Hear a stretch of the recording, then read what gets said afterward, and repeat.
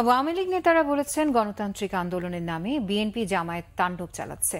রাজধানীর পল্লবীতে মহানগর উত্তর আওয়ামী লীগ আয়োজিত বিক্ষোভ মিছিল পূর্ব সমাবেশে তারা এ অভিযোগ করেন।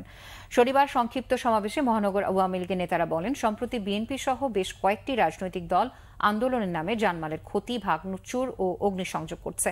তারা বলেন, গণতান্ত্রিক প্রক্রিয়ায় নির্বাচনী হল ক্ষমতায় আসার একমাত্র পথ। কিন্তু নির্বাচনকে পাশ কাটিয়ে গায়ের জোরে ক্ষমতায় যাবার বৃথা চেষ্টা করছে বিএনপি।